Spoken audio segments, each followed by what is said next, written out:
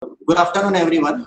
Uh, this is uh, Professor Mukesh Barua, Head Department of Management Studies.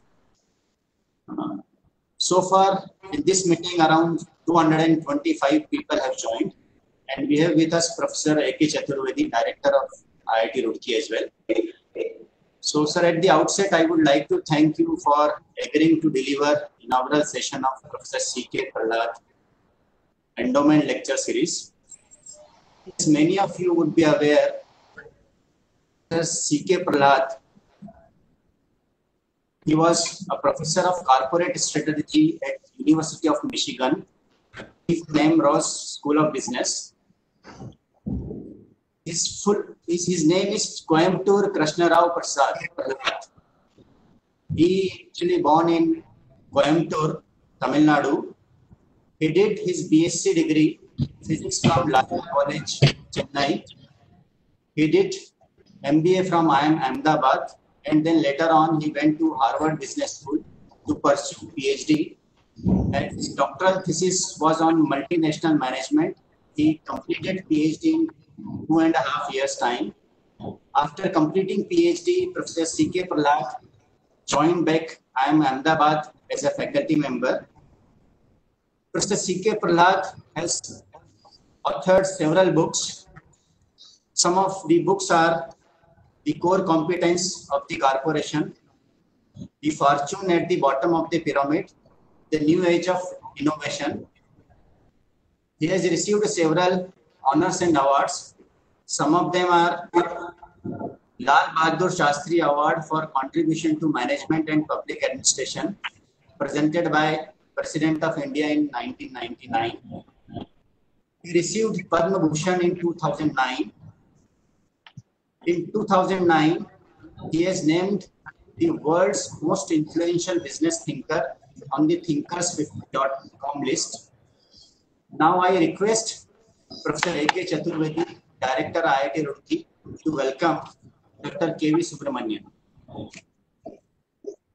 So it is my pleasure to welcome Dr. Krishnamurti Subramaniam to this inaugural edition of the C.K. Prahalad Memorial Lecture at IIT Roorkee in the Department of Management Studies. Uh, this lecture series exists in every department. That means every department has named it after some iconic figure, uh, whether from the department itself or if it is a new department like Department of Management Studies, they have chosen a national icon after whom they have named the lecture series. The purpose of the lecture series is, of course, that we bring outstanding people like Dr. Krishnamurthy Subramanian to the campus. And when they come to the campus, then they see the faculty intermingle with the students. Also see whatever good things are happening in society. And some of this message gets carried back. But unfortunately, due to COVID-19, this part of the lecture series is not possible because uh, we are unable to have Dr. Subramanian in the campus. But at, at, the same time, we are very thankful that he could spare one hour during this very busy schedule to be with us. Personally, I was looking forward to his visit, and the reason is not far to uh, fathom because uh, when I looked at his CV, uh, it turned out that both he and myself have studied from the same department in the same discipline. And in fact, uh, when he was an undergraduate student, possibly I was a PhD student doing some TA for his labs. So I was hoping that we would spend some time together when he visits. But today it is not happening. Dr. Krishnamurthy, I hope you will find some time later to visit us after this lecture. So with these brief words, I would like to uh, conclude my address and we all look forward to hearing to Dr. Krishnamurthy, Subramanian. So, so before Dr. Subramanian starts his lecture, let me read out his brief CV. So today we have with us an outstanding personality of the country, Dr. Subramanian. As all of us are aware that COVID has affected not only Indian economy but world's economy one of the projections of World Bank is that the world economy will shrink by 5.2% in this fiscal year. And we also know that during COVID, most of the supply chains are under pressures. All most of the jobs are cut. Educational institutions are shut, and things are not looking good at this point in time. But I hope that all of us would revive very soon, and our economy would revive even faster than other emerging economies. So before I hand over the session to Professor Krishnamurthy, in brief, let me tell you that Professor Krishnamurthy is the Chief Economic Advisor to the Government of India. He is a leading expert on economic policy, banking and corporate governance, a PhD from Chicago Booth and top-ranking IIT IIM alumnus. He authored the Path-Breaking Economic Survey that commends ethical wealth creation for a prosperous India by integrating India's rich economic and spiritual heritage with modern economic ideas. He advocates ethical wealth creation through a marriage of invisible hand of market with hand of trust.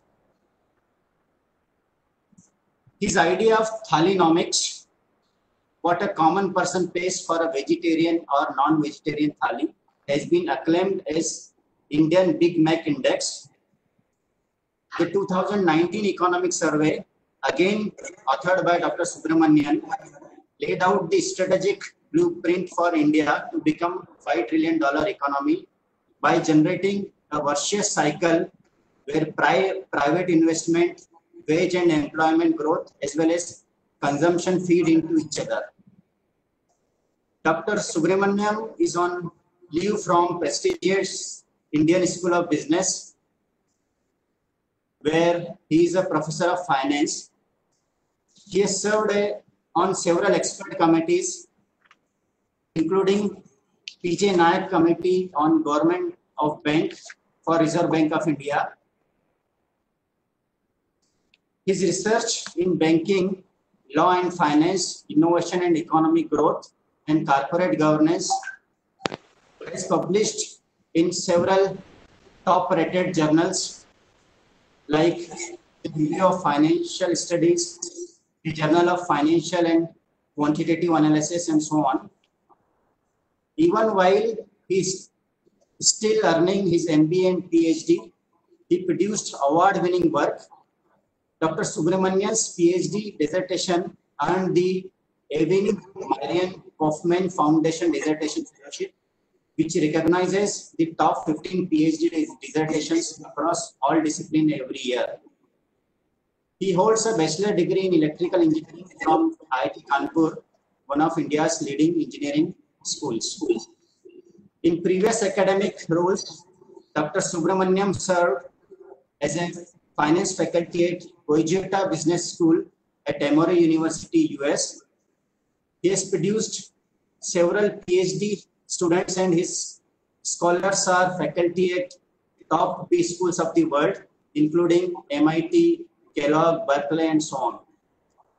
Now I would request Dr. Subramanian to start his lecture. Sir, after 30 to 40 minutes of your lecturing, we'll have a QA session. All the questions would be asked by our moderator, Swati Agarwal. And uh, after that, we'll have a vote of time. Thank you so much. Over to you, sir. Very good morning. Um, am I audible? Yes, sir. Yes. Very much. So thanks a lot, Professor Barua, for those kind words. Um, let me say I'm quite humbled to be delivering the inaugural uh, CK Prahalad lecture. As um, we all recognize, you know, all of all of, of us actually worked in uh, in the area of management.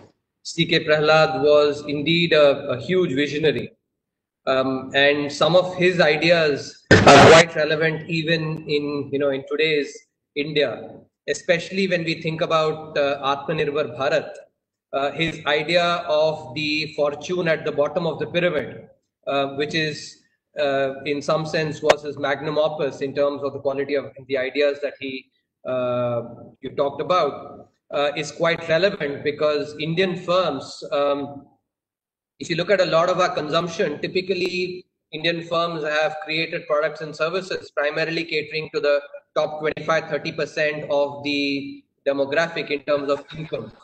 Uh, yet, you know, a population of um, almost uh, 137 crore people. Um, and so, products and services that can be created for the bottom of the pyramid um, can really be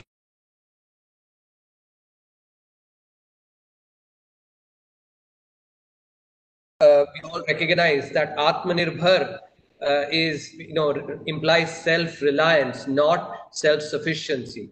Um, you know, and, and, a very good example of uh, C.K. Prahalad's idea is seen when we go to, you know, to villages and towns in India. You go to a paan shop, you can, you know, can get a shampoo sachet. Um, you know, 20, 25 years back, if you wanted to buy shampoo, if you're a poor person, who wanted to actually get a shampoo, you could only get it in those big bottles. And a typical poor person would not have the cash to be able to, you know, uh, to to uh, to be able to buy such a large bottle of shampoo. And so the FMCG companies came up with basically this idea of, you know, building it into sachets and thereby um, utilizing the fact that the poor also want to consume the same products and services that those at the top of the pyramid consume. And so this is a very good exemplification of C.K. Prahalad's idea of uh, fortune at the bottom of, bottom of the pyramid. So I must say I'm extremely privileged to be delivering the inaugural lecture in, in the memory of someone who was so known for uh, path-breaking ideas, um, and uh, that, that's that's something which all of us can take a lot of inspiration from. Uh, what I want to briefly talk about, and uh, by the way, uh, Professor Barua, I'm not like I'm not going to be speaking for 40 minutes. I'll uh, try and keep it shorter, maybe 15, 20 minutes at at the maximum, um, and nice. then I will um, I'll try and take more questions. Um, what I do want to focus on, because you know a lot of our um, students are are you know those who are participating are from must must be from management backgrounds. Um, I will I will you know go back about you know a little more than some some you know a little more than two decades um, to my own undergraduate days, and uh, one of the things that um, used to you know baffle me about many of my peers was how everybody wanted to leave India and and and go and settle settle in the United States. Uh, some of us who were more um, attuned to staying back in India would call these friends of ours NRAs, um, NRA for non-resident Americans. Um, so these were people who basically wanted to spend their four years, you know, acquiring the engineering degree and then go and settle settle abroad. Um, the, the reason I actually uh, bring this this this particular incident up is because um, many of us during our own school days and maybe even our parents and our you know grandparents generations have grown up thinking that you know at, at, at least in the field of economics in the field of um, you know management etc um, india did not rank really well in the committee of nations that most of the ideas um, relating to economics and uh, you know um, and management, etc., have come primarily from the Western world. Uh, that's the thought, and you know that's something which um, many of us uh, grew up as well. Uh, but turns out that you know that is not really true. While it you know while there is no question that a lot of modern economic thought originates from you know from from some of the work of Adam Smith and and and and uh, people you know uh, thereafter. Um, in India, we've had a, you know, a, a, wealth of economic thinking as well. If we, you know, if we go and read the read the literature, and when I say literature, literature um, implies anything that is in the written word. Um, so literature does not include not include only the kind of journals that uh, Professor Bakshi was uh, talking about, Review of Financial Studies or a Journal of Finance or a Journal of Financial Economics. That, of course, is literature, no doubt. But even anything that is written is actually forms part of literature. So Arthashastra by Kautilya is as much literature. Uh, Tirukkural written by Saint Tiruvalluvar, you know, in the, in the south is as much literature.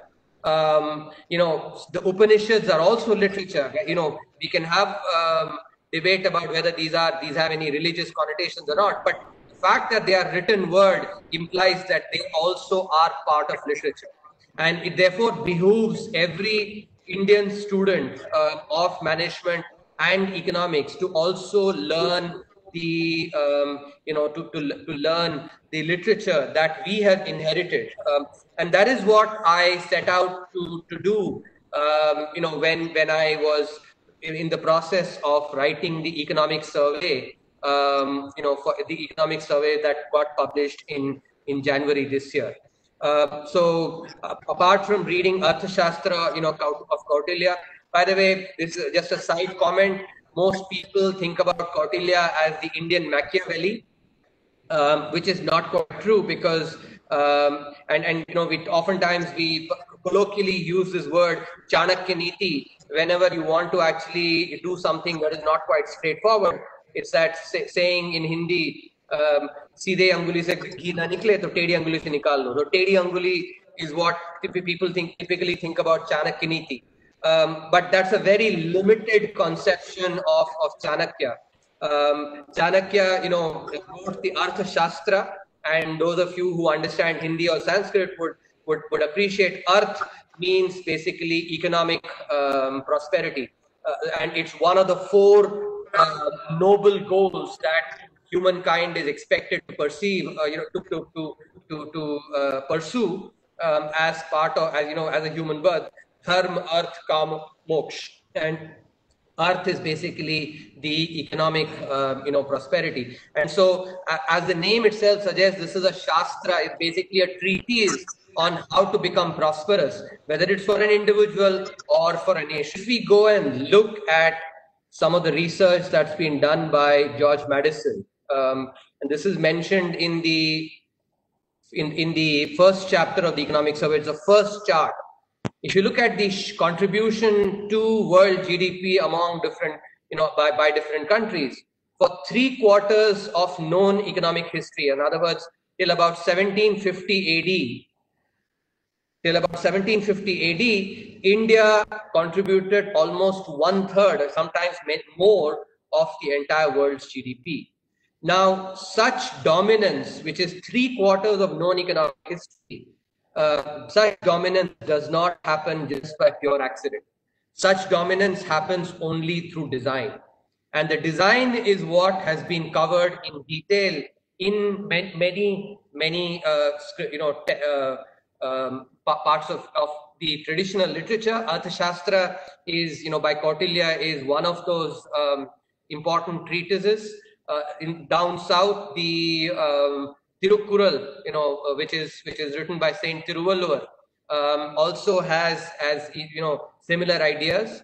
Um, so I would I would strongly urge uh, you know all the students um, uh, of management disciplines to learn the learn modern economic tools for sure, but at the same time also uh, go and you know learn about the ideas um, that are that that were advocated by our by our earlier thinkers because I can really foresee a lot of research ideas that can that can come come together by taking those ideas that were um, advocated in the you know in an Arthashastra or in a you know um, in in a, in a in a Tirukkural, taking that and applying it you know and and using uh, modern economic methods those can lead to very good research studies so it's a good opportunity for many people to uh, especially PhD students or or, or scholars, uh, research scholars here, to actually pursue those those ideas.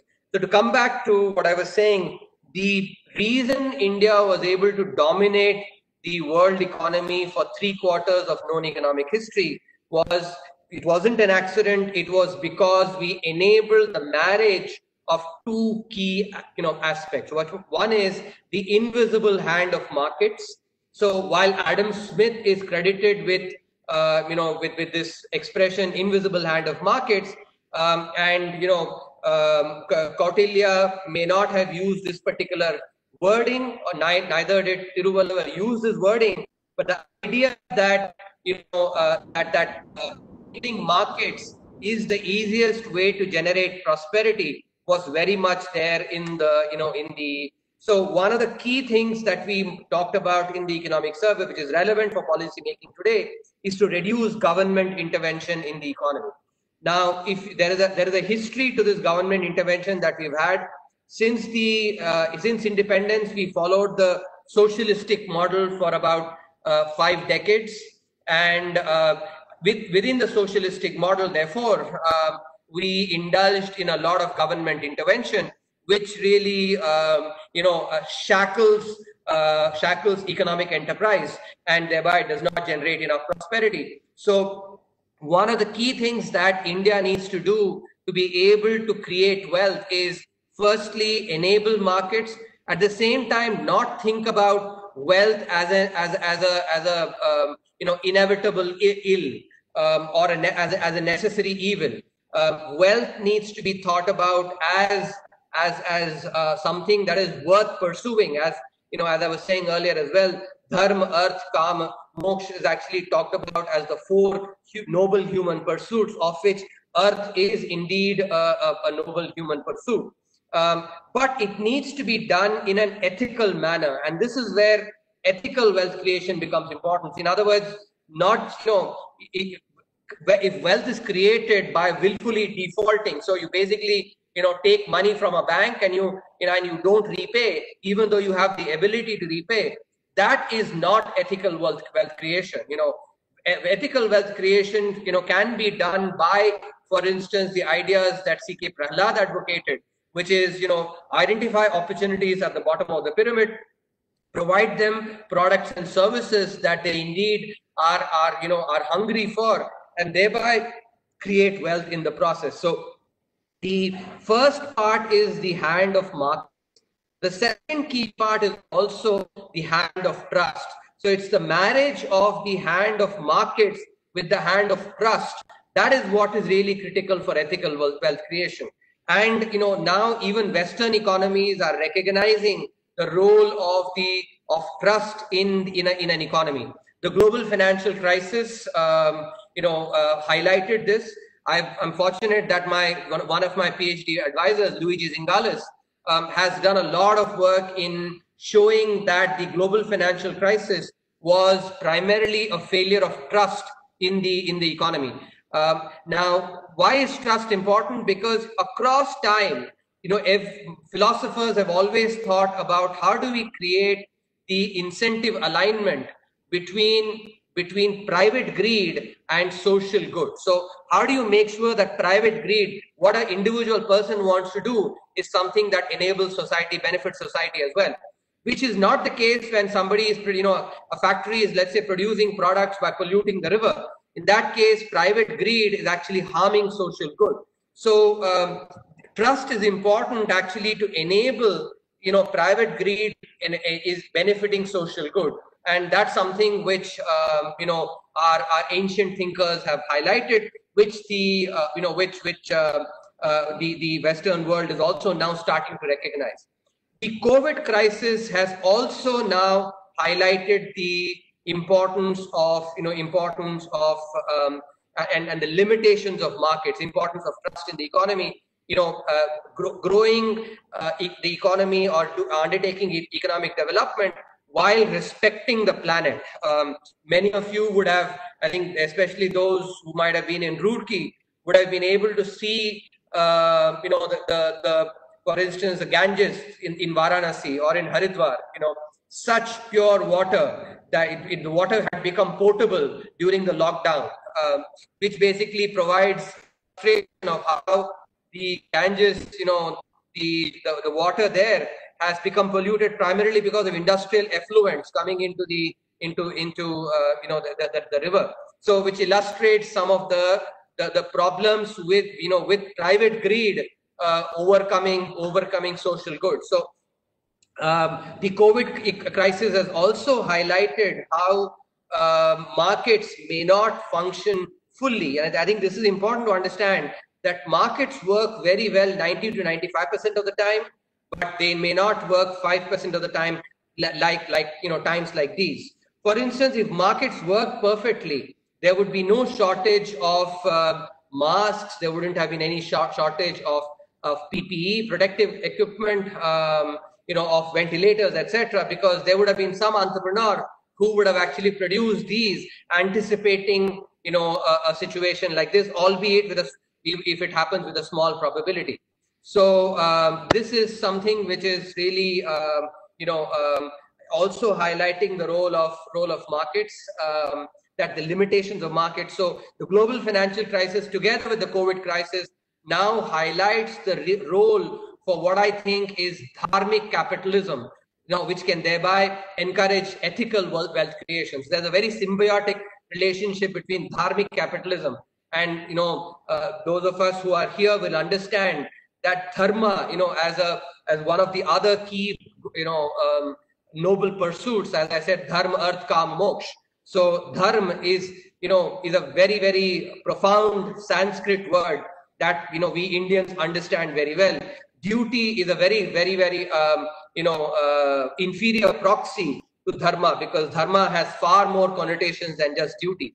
So when you combine the concept of dharma with markets actually and dharmic capitalism, that is what can enable, um, you know, can enable, um, you know, ethical wealth, wealth creation, which is something that is really important. So those of you who go and work in the you know in the real world, um, you know, and and those who may actually do research, what you recognize is there is absolutely nothing wrong in wealth creation.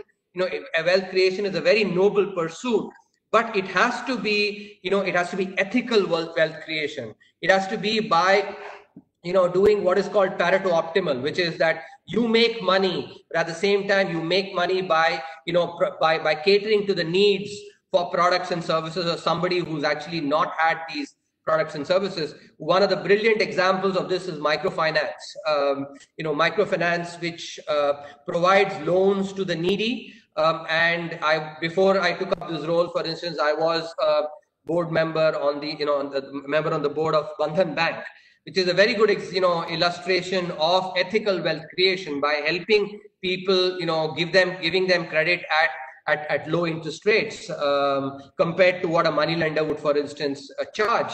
These where the interest rates are about 18 19 percent. Uh, that's because the cost of serving such borrowers is typically larger um, but, but compared to the 200 300 percent interest rates that a money lender charges these are much much lower. So in that process you know wealth is created and you know these society is served as well. So overall you know what i want to emphasize to the entire uh, you know audience is to focus on ethical wealth creation which is what is the crying need for us. Um, and that is something that sits very well with our um, you know with our uh, uh, um, ancient heritage as well so um, let me stop there and let me let me take questions um, and, um, and, and answer those.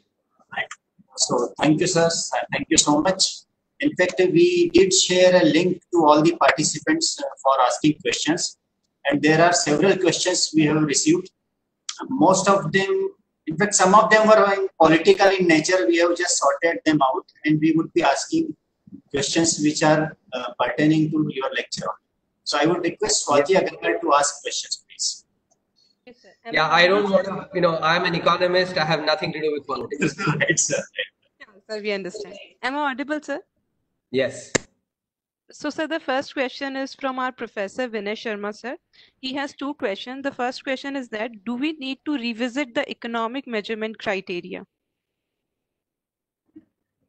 Um, the, I I think I, I would want some more details on the question. You know, in, what's the context? Um, yes, sir. I'll ask uh, uh, Vinay Sharma, sir. Can you please unmute yourself and elaborate on the question? Yeah. Good afternoon, sir. Uh, Very good afternoon. Thank you for addressing us, and uh, uh, you know the combination of invisible hand and uh, trust is is a very important element which you have elaborated upon. So I just wanted to ask on that uh, the current measurement criteria, for example, GDP and the growth perspective and the parameters which you have been including in the uh, you know uh, measurement of everything. So, do we have to think or revisit uh, these elements of uh, measuring uh, the economic growth and uh, all those things? So, I, you know, I think your question is a very broad one. Let me answer it in some specific ways. One, see, um, by the way, there is actually somebody who's requested, can, you know, saying, can this session be a bilingual one? I'm, I'm very happy speaking in Hindi as well. Um, so, साहब का सवाल ये है कि GDP growth जो हम जिस जिस जिस जो हम मेजर करते हैं वो सिर्फ़ जीडीपी ग्रोथ उसमें कुछ खामियाँ हैं क्या? उसमें उसको क्या हम उसका उसको उस, उसको इम्प्रूव इम्प्रूव कर सकते हैं? और किस तरह उसको और अच्छा और बेहतर बना सकते हैं? तो ये सवाल है। तो इसमें दो तीन मुद्दे हैं जिसमें मैं एक्चुअली रोशनी डालना चाहता हूँ। एक तो ये कि जीडीपी ग्रोथ अपने आप में शायद एक एक पूरक एक, स्टेटिस्टिक नहीं है क्योंकि कई बार ऐसा भी होता है कि जीडीपी ग्रोथ तो हो रही है लेकिन सोसाइटी में जो है समाज में इनक्वालिटी बढ़ रही है जो असमानता वो बढ़ रही है। तो जीडीपी ग्रोथ के अलावा हमें जो असमानता की जो की जो के आंकड़े होते हैं उन पे भी ध्यान देना चाहिए। इसी तरह जीडीपी ग्रोथ के अलावा नौकरियाँ जो फॉर्मल सेक्टर में बन रही हैं उस पर भी ध्यान देना चाहिए क्योंकि जब नौकरियाँ बनती हैं फॉर्मल सेक्टर में तो उससे असमानता भी कम होती है। और मैं मैं मैं एक खड़ा उदा, उदाहरण हूँ इसमें क्योंकि हमारे पिताजी हमारे पूरे कुल में पहले पहले ऐसे व्यक्ति थे जो कि फॉर्मल सेक्टर में जिन्होंने जिन्होंने काम किया। इस हमसे हमारे पिताजी से पहले कभी किसी की किसी ने फॉर्मल सेक्टर में काम नहीं किया। और क्योंकि वो फॉर्मल सेक्टर में काम कर पाए इसलिए हमें वो शिक्षा दे पाए और जिसके जिस शिक्षा के कारण हमें देश की देश सेवा करने का एक ऐसा एक अवसर मिल रहा है। तो ये एक उदाहरण है जिससे पता चलता है कि जब नौकरियाँ मिलती हैं फॉर्मल सेक्टर में तो उससे नहीं न वो उस उस परिवार का तो उद्धार हो ही जाता है लेकिन उसके चलते जो आपका आप, समाज है समाज का भी काफ़ी काफ़ी विकास होता है।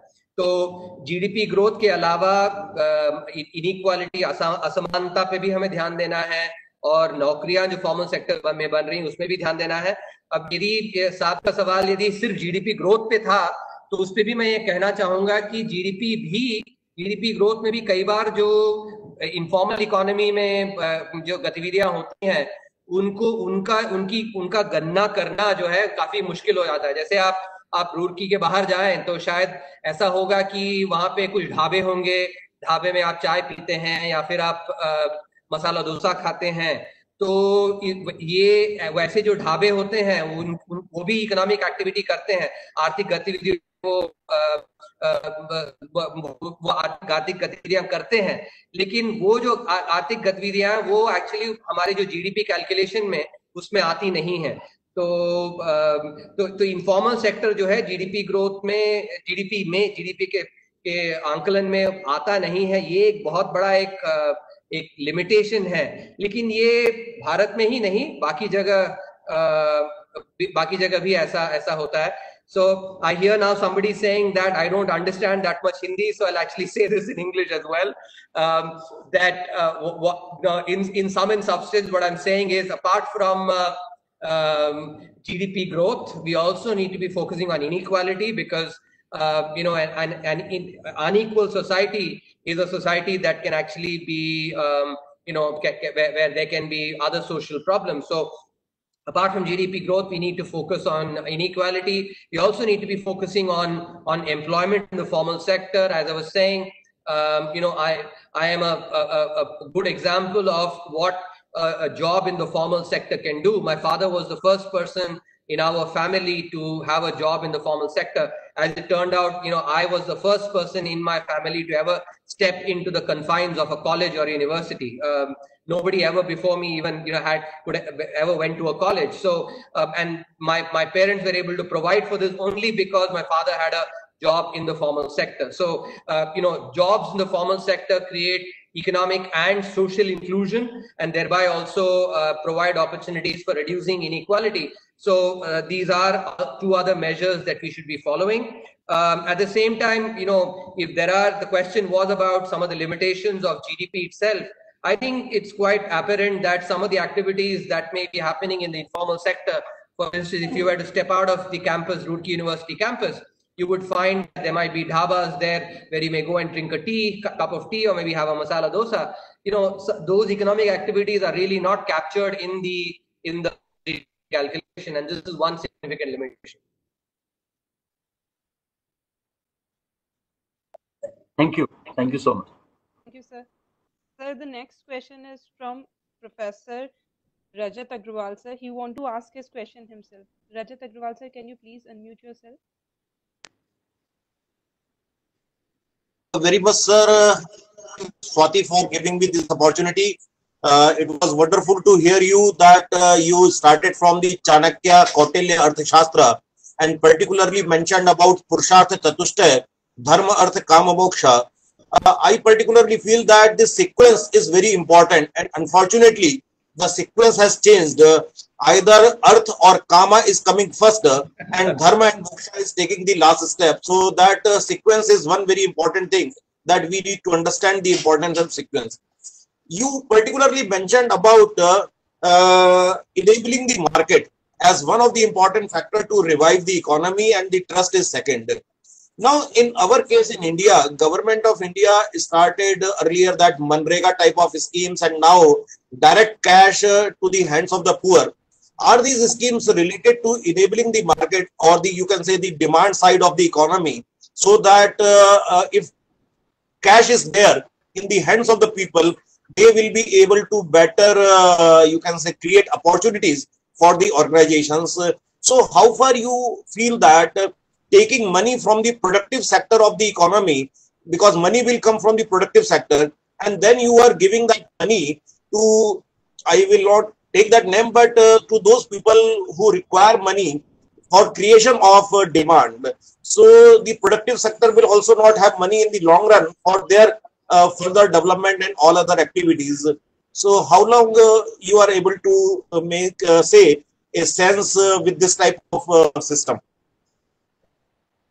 Um, Professor Agrawal, thanks a lot. I think um, I quite agree with you that sequence is quite important as well. Dharma, Arth, Kam, Moksh. Um, um, and I hope, Hello. you know, in, in your classes, you also advocate to your students the importance of that sequence. Um, by the way, your, your second question is related to also another question that has come saying about, about how would the economy revive. revive.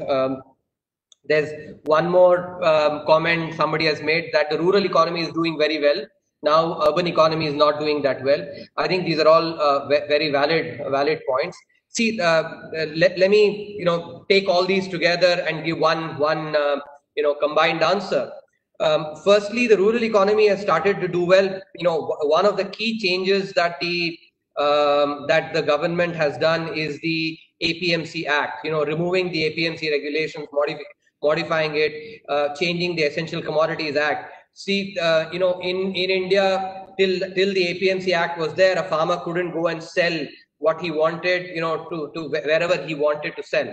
Um, he could only go and sell, sell it in the mandi. And as a result, you know, the local intermediary who's called the Adatya uh, would, would basically end up benefiting at the cost of the farmer. So apart from the fact that the that this year the crop is going to be a good one and by, which by the way you know we've had good crops rice and wheat over many years. Um, in fact so much so that the surplus uh, huge surplus is getting built. But the reason rural economy has started to do well is because we've unleashed another example of you know governments basically not intervening so much and enabling markets. So we've enabled agricultural markets which is actually benefiting the, the rural economy now let me come to you know, the specific question about demand um, and you know how is it important for reviving the economy. Uh, see, there are a couple of important points that must be remembered here.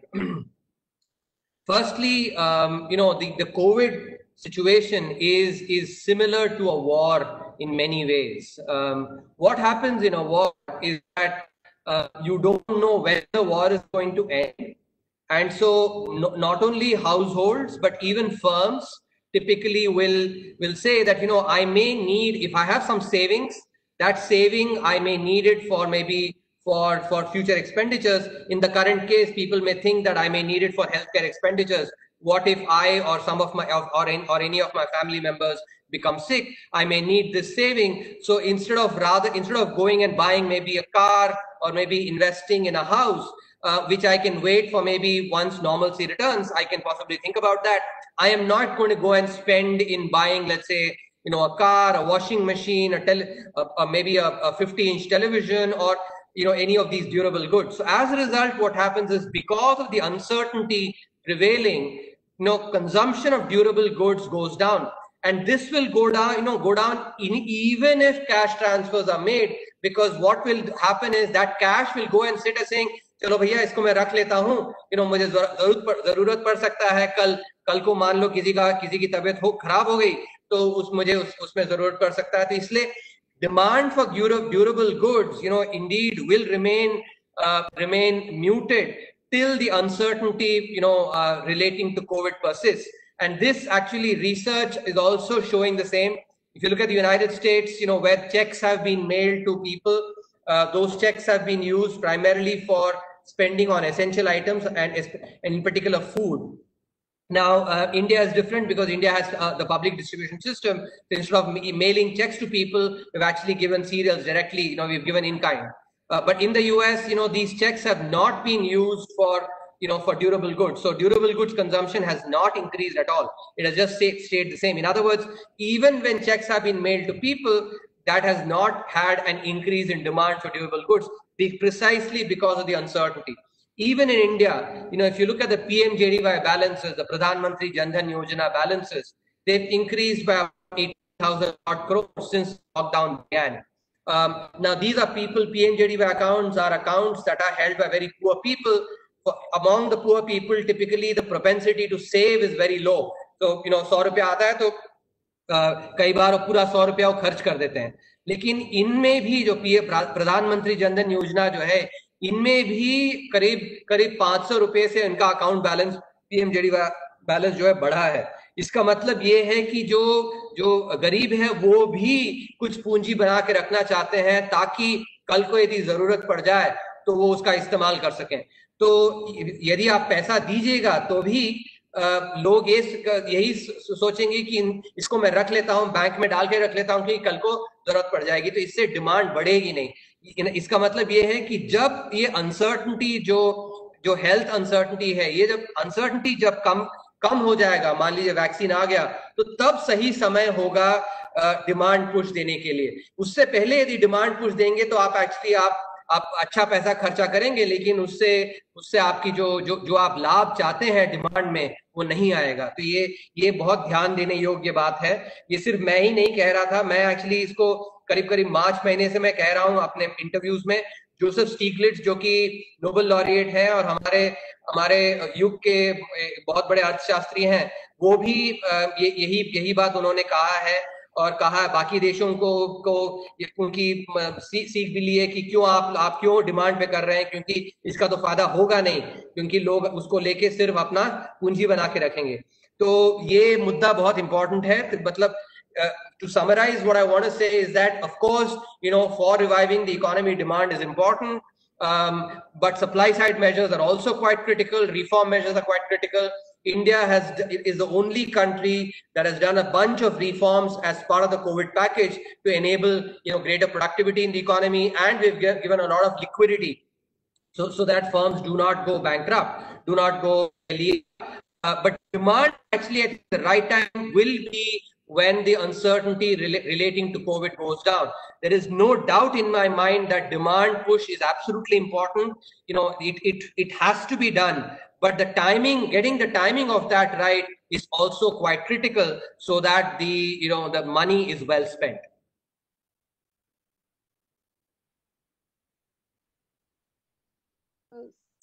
Thank you, sir. Sir, there's one, one more question. question. Uh, Hello. that is uh, that do you feel that uh, will there be a possibility India adopting concepts like uh, gross national happiness like Bhutan has? Any Professor any Agarwal. remote possibility? Professor Agarwal, can I request you humbly to actually that we will have because I'm, I'm told there are 200 odd people.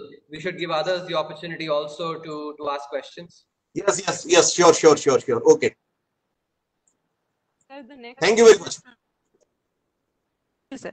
So the next question is from a student, Rakshit Kumar. He wants to know that in this time of pandemic and economy going down, hell and our rating for agencies has grown gone uh, gone below as low as five uh, minus five percent. So how will we be able to achieve the target of five trillion dollar economy? Furthermore, how can we as a student can contribute towards it? See the um, this this year growth um, you know is affected, but uh, because of the measures that have been taken you know um, by the government and some of the you know uh, demand side measures that we will take at the at the opportune moment, growth rates uh, of GDP can be much higher in subsequent years, and as a result, we can make up for um, you know for for for for uh, this lull time. In like if if I use a parallel, you know um, those of you who who follow cricket will understand कि जब ball swing हो रही होती है काफ़ी uncertainty ज़्यादा रहती है तो आपको लेफ़्ट करना चाहिए ध्यान से खेलना चाहिए। लेकिन आपने यदि ध्यान से खेला कुछ कुछ ओवर और अपने विकेट बचा के रखे तो एक्चुअली उसके बाद छक्के चौके मार सकते हो आप। तो, तो हम हम भी वही अभी अभी अभी सावधानी बरत रहे हैं ताकि आगे चल के हम छक्के चौके मारें।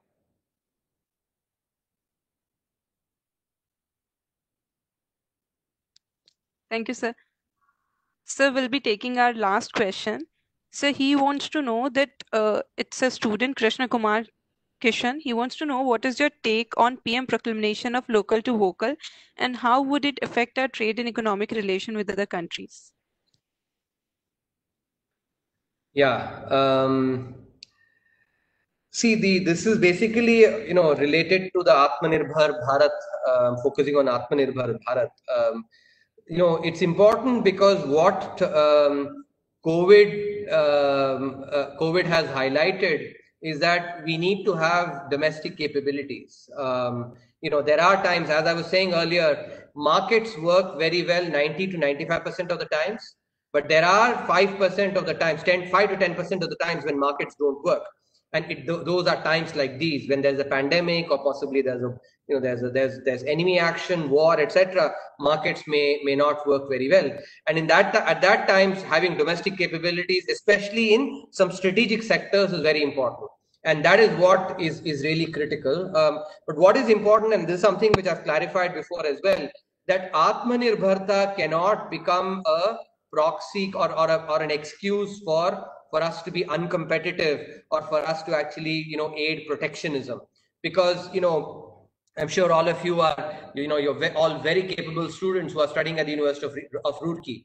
Uh, you must have come to roorkee by beating competition. Um, you know uh, it's like the the you know the, the way virus says in, in in the movie three idiots that um, you know if, if you remember the first scene he basically puts the applications of those who not make it. Um, similarly you all have made it to uh, you know to the university of roorkee after beating a lot of competition and that is why you are capable. In other words you know your capability is built has been built through competition. Um, so, and you know, that is true for individuals, but it's true for companies and it is true for the nation as well, that capabilities cannot be built without competition. If we were basically to say that, you know, um, for, just to take, just, to- just to do a thought experiment, if we had said that University of Roorkee people will basically just admit you know people from Roorkee let's say सारे जो रूरकी के रूरकी वाले हैं उन्हीं को you know uh, मौका मिलेगा रूरकी में शहर में जो रहते हैं उन्हीं को मौका मिलेगा that's an example of protectionism in some sense so people from other cities will not be able to come then what you'll have is as a result you know the not so capable will also get in and that's what you know competition is really important therefore to be to build capabilities and to you know develop capabilities as well. So atmanirbharta cannot be built without capabilities and capabilities themselves cannot be built without competition. Let me take a couple of more questions. Akash um, middle class yes I, you know i myself from the middle class. Um, you know but but you know in our in our country we have to take care of the poor. Um, we have far more poor people And as you will know, you know, money unfortunately does not grow on trees. There are, you know, governments also face budget constraints. Um, Shubham Sharma saying, um, migration, yes, I think a couple of important steps that are being taken is one is the one nation, one ration card, because migrant workers are unable to access the PDS system. And as a result, they cannot get some of the essential items. Uh, once the one nation, one ration card becomes, uh, you know, becomes uh, activated, then migrant workers can access actually the PDS shops as well, and that will remove a lot of their their vulnerability. The reason migrant workers, a lot of them actually, you know, move back now, move back is because the vulnerability they face. This is something that will help uh, in that process. Um, there's a question about when whole nation do work 35, 365 days, 24 seven, countries does GDP does not raise significantly. Well, I don't think the whole nation nation works 365 days, 24/7. We have leaves, etc. And lockdown, um, economic activity could not happen because a lot of you know people were not going to factories. People were not you know couldn't travel to work. As a result, a lot of you know economic activity had to be shut down. Shut down. That's why the nation's GDP got affected because you know many economic activities couldn't be held. For just to give an example, you know take take Mumbai for instance. You know in, in Mumbai, the local trains are the most important. People, you know, a lot of people lay, live in the suburbs and they work, you know, downtown. They, they work in places like Nariman Point, you know, Bandra, etc. If the lo- if the local train does not run, they cannot go and you know work in the in the offices and factories, etc. If labor cannot come to factories or to offices, then obviously economic activity cannot happen, and that is why the um, you know GDP got affected because of the lockdown. Um, Yes, privatization, you know, we've, uh, this is a question on privatization from Kashish. Um, so take a look at the chapter in, in the economic survey that we wrote called privatization and wealth creation. You know, uh, for want of time, I'm not able to answer your detailed question, but, you know, take a look at that chapter. Um, sec, few more questions. Akash, I think I've covered that on middle class. Mansi Chaudhry's fall in the credit rating. Um, no, it'll, it's not. It, it's not going to affect uh, the funds availability of funds because you know we continue to be sovereign. Uh, we continue to be investment grade, and in fact, you know, um, a lot of funds have come in in the month of June because we continue to be investment grade. Uh, we have to ensure that we don't go below investment grade. Uh, you know, going forward. Um, so Shovik says that he's come across money lenders. Um, were lending at 200%. Um, no, but here I must tell Shovik that the government has basically uh, the 3 lakh crore emergency credit, uh, of which about 1 lakh 15,000 crores has already been sanctioned, is really, you know, uh, tailored towards MSMEs. Um, so about, you know, more than one third of the of the 300 of the 3 lakh crore uh, credit has already been sanctioned. If you look at it, you know, just to give you a parallel in terms of uh, you know, again, use a cricket parallel. Uh, there are 50, 52 weeks in a in a in a year, and um, you know, let, let's let's suppose that 10 weeks were basically already lost because of the lockdown in April and May. Um, but you know, so, in 50 weeks, if you have to do 300 lakh crore, that's a run rate of about 6,000 crore per per week. Um, and um, you know, we basically have done in the first few in, in this month, just the month of June, we've done one third. Uh, so, you know, there, if you look at it in terms of the run rate, I think run rate is very good. Yes, anecdotally, there may be some examples of uh, MSMEs having to borrow from money lenders, but overall, you know, a lot, lot of MSMEs have already gotten credit from banks. Um,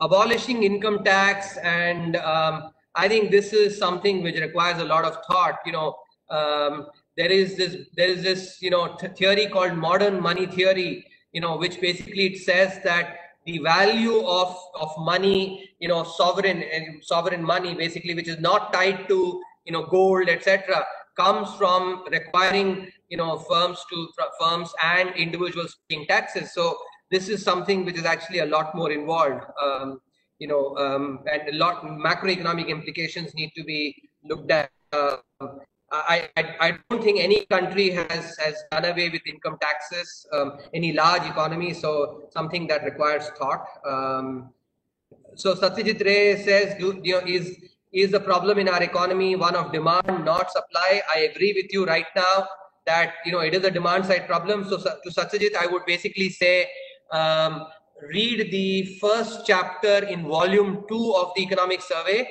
especially the second section, which is called, which is where we have looked at the slowdown in the economy.